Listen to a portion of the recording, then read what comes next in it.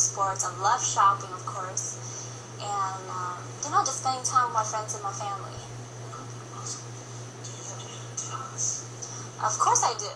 I love to play the piano. I've been playing since I was eight, and I play by ear. And um, do you? Yeah, I mean, I, can, I don't know how to read notes, so yeah. Um, I was nothing like how I am now. I wasn't. I was the nerdy one, the tomboy one. Do you? I love Thai tea too. Wait, you're not Thai, are you?